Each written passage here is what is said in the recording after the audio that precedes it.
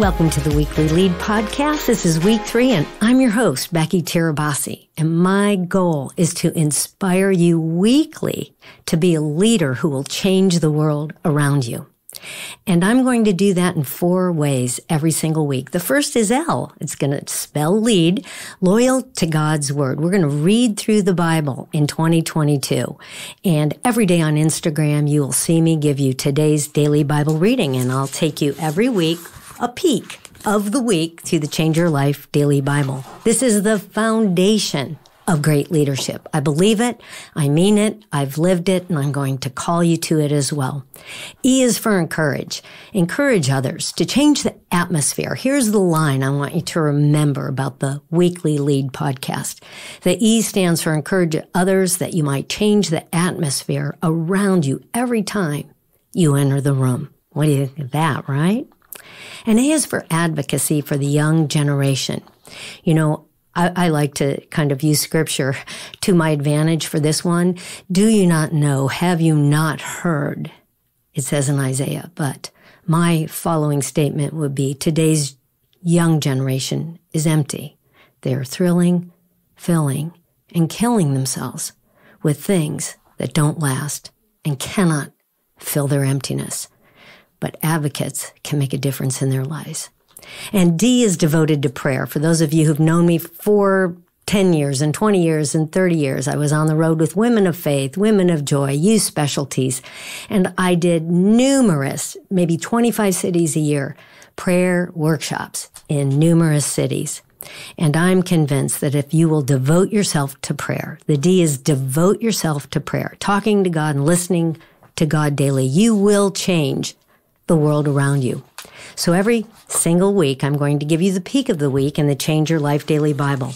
In just 15 minutes a day, we're going to read through the entire Bible. If you can see me on YouTube, I'm holding up the version of the one year Bible that I've been using for over 20 years. It's called the Change Your Life Daily Bible, and there's a study Bible edition now available at Amazon.com, but you can use your own Bible too.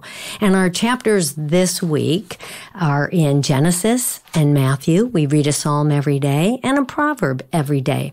So this week, my goal is for you in the Old Testament, New Testament, and Proverbs, Psalms as well, is to hear God's voice. And more importantly, not only hear it, but you don't want to miss it by being too tired or too lazy or too busy to read the Bible. So I'm going to try to fire you up. The Old Testament today is this week in Genesis, and we see the story of Jacob. But I just thought I'd read a verse to you. Genesis 35 1 says, Then God said to Jacob, Get ready and move to Bethel and settle there. Build an altar there to the God who appeared to you when you fled from your brother Esau. So Jacob told everyone in his household, Get rid of all your pagan idols, purify yourselves, and put on clean clothing, because we're going to Bethel, where I will build an altar to the God who answered my prayers when I was in distress. He has been with me wherever I have gone.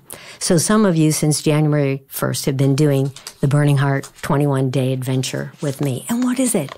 It's the same call as Jacob had in the book of Genesis, chapter 35, verse 1 from God. Be sold out to prayer be set apart in purity and be sent out with purpose. We finished the 21 day adventure this week, but it's a free 21 day adventure for anyone who wants to take it. But we can see it's built from the Word of God. Then we have the New Testament. The peak of the week of the New Testament this week is in Matthew, and we know Jesus is speaking. It's called, you know, often red letter in the Bible when you hear God speaking, when Jesus speaks. Well, Matthew in chapter 13, Jesus is explaining so much to his disciples, but now he talks about the seeds and the seeds that are planted in four soils the footpath, the shallow, the thorny, and the fertile soil. Well, it doesn't take much time to figure out which soil you are. In the Psalm, you know, we're at the very beginning of the book of Psalms. We'll go through it twice in the Change Your Life Daily Bible. But this week's Peak of the Week of the Psalm I picked was Psalm 18. It's an all time great. It says, You reach down from heaven, Lord. You've heard my prayers. Don't you know how personal your prayers are to be to God? These Psalms will give you permission. And chapter 15, Psalm 15 is a wonderful one as well. And finally, the proverb this week I've chose is Proverbs 335 and it's a leadership lesson. You'll find that the Proverbs consistently do this. The wise inherit honor, but fools are put to shame. The L in lead, the weekly lead podcast is for loyalty to God's word. The E is for encouraging others. So at the end of 2021, I watch, I always watch the sports, uh, best of the year in 2021 on ESPN. And the story about a young adult Down syndrome, uh, 20 year old and his dad to run an iron, well, to be an Ironman was um, captured at the end of the year. And it was so inspirational how the father was so encouraging to this son. No Down syndrome adult had ever become an Ironman, and you had to accomplish this within 17 hours. And the father got a trainer for his son. He, this was a boy who couldn't even swim a lap of the pool, and he was going to have to swim in the ocean. And his goal to encourage his son was to say, get 1% better every day. That's my encouragement to you. Get 1% better every day. If for 365 days you just read for 15 minutes a day, you will have gotten 1% better every single day. It would be an amazing um, feat, I think, for those of you who have never read through the Bible, but just get 1% better every day. Well, this boy named Chris, he believe it or not, it's a wonderful story. You should find it succeeded in his uh, attempt to become an Ironman. But there was a point with about 15 miles in the uh, marathon to run that he wanted to quit. And he said, I don't want my dream any longer. And they said, call his father, call his father. And his father came in and put his arm around him. And he said to his son, Chris, you're going to be an Iron Man tonight, but you have to fight through the big pain. He was tethered to a trainer and the trainer was running knowing they, they had to make 17 hours or he would not be considered an Ironman. And about 10 miles to go, uh, Chris, the, the Down syndrome young man starts to cry and his trainer says, why are you crying? He said, uh, it hurts. Well, where do you hurt, Chris? He said, it's the blisters on my, on my feet. And the, and the coach says, those are fake, fake pain. Those are fake blisters. And, and Chris, the Down syndrome young man says, no, they're not. That is real pain. And I want to say that encouragement to other people is you telling them, I know your pain is real. But you can do this. You can overcome this. Let's do it together. And when I think about just asking people to read through the entire Bible in a year with this question, what might God do if we were to read through the entire Bible? I always believed that if you did it as a person, as a church, as a city, as a nation, God would do something amazing. So you must push through the big pain. And in our case, it's really just talking to yourself, not being lazy, having a plan, making an appointment with God. It's really saying, what might God do if I push through the big pain? And for some of us who are addicts or have huge goals and dreams, it doesn't even have to be a negative thing. We have to push through the big pain and we're to encourage each other. A in the weekly lead is advocates for the young generation. There's a wonderful book, and I started out by saying, you know, have you not heard, do you not know that the young generation is empty? And there is a book called Hope Always by an ER doctor. And he became a Christian after uh, a while, not a Christian as an ER doctor, but seeing so many suicidal cases and overdoses coming into the emergency ward where he worked. It's a, it's a terrific book. Matthew Sleeth is his uh, name. The book is called Hope Always. But here was the big takeaway for me in terms of being an advocate for the young generation. You may or may not know this, but he says asking is the first step. He said, my specific advice for those in the church who want to help others at risk or self harm is this you will not increase the risk of someone committing suicide by asking them about it.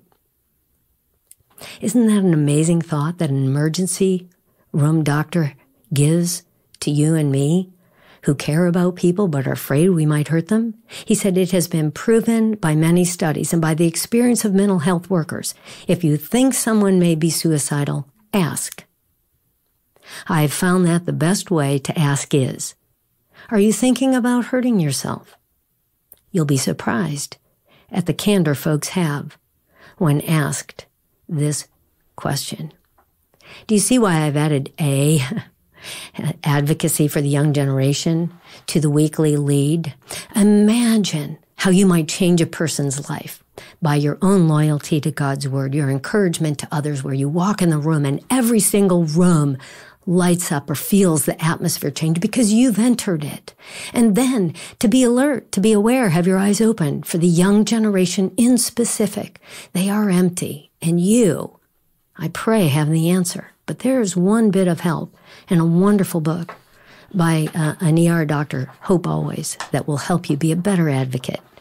And finally, devoted to prayer. For those of you who know me over all these years, and I'm finding you and you're finding me again, you're coming back and saying, Oh my gosh, I heard you speak in Spokane. Oh my gosh, I heard you speak in um, San Diego. Oh my gosh, I heard you speak on the East Coast and, and down in Florida.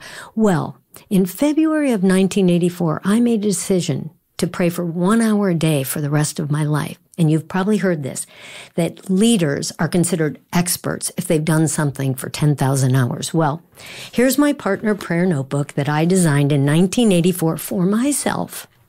And if you're on YouTube, you can see me holding up the My Partner Prayer Notebook. It's still available at Amazon.com. It's also an app at the App Store. It hasn't changed. I use it every day, the same system of talking to God and listening to God by writing but that decision I made is over 15,000 hours ago. And believe it or not, I'm different because of it. Am I an expert? Well, I know one thing. I have been with God one hour a day, talking to Him and listening to Him and finding Him to be my comfort and my strength. You know, because I talk and listen to God, it means I have to both open my Bible every day and hear God speak to me, and I have to write down very specific, not general or vague prayers. And one of the first books I read on prayer, I would encourage you to read it, is by Andrew Murray, and it's called Christ in the School of Prayer. And it's it's a very basic book on prayer, but he says this, prayer and the word are inseparably linked together. And I will probably quote this once a month during the weekly lead. They're, they're inseparably linked together. Power in the use of either depends on the presence of the other. Now, Andrew Murray was uh, over a hundred years ago an Anglican priest who was part of a revival in South Africa. So his books are filled with prayer and always talk about revival. And you can see I always bring my little stack of Bible, revival, and prayer books with me, the classics. But what I've learned through spending time with God every day that is that he speaks to me very specifically when I read the word. And we have 365 days of reading, so you'll never run out of listening to God words. And that's it. You don't want to miss God's voice.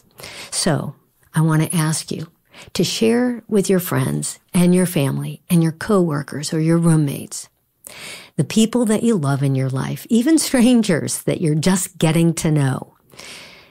If you want to join me in reading through the Bible in a year, if you want to become a leader with the tenets of leadership that will change you and the world around you, then invite them to join us weekly at the Weekly Lead podcast. I'm also on YouTube at Becky Tirabassi, and I will encourage you weekly to spend time with God, make a difference in the world around you, change um, the atmosphere whenever you walk in, lead with great courage and great enthusiasm.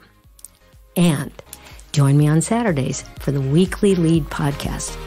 I'll be here and I look forward to seeing you too.